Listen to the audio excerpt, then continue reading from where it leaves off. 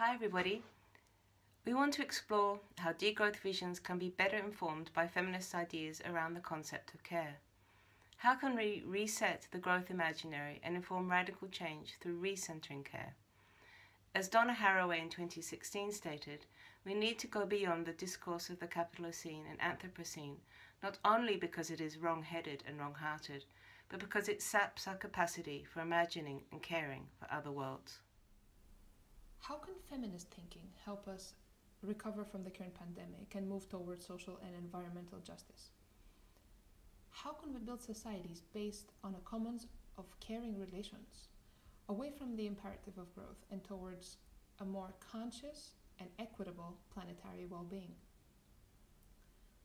What would it mean for the degrowth movement to be informed by committed ecological feminism? How do we imagine radical futures that are inclusive and that truly embrace diversities? We keep wondering where are the voices of disabled and chronically ill within these radical futures, and how do disabled people imagine radical futures? How can we include the knowledges and articulations of disability justice within degrowth? And what can be learned in the sphere of care from the experiences of disabled people? How do we design spaces and times that are more inclusive and safe and comfortable for everyone? And how can we disrupt patriarchal dynamics within these spaces?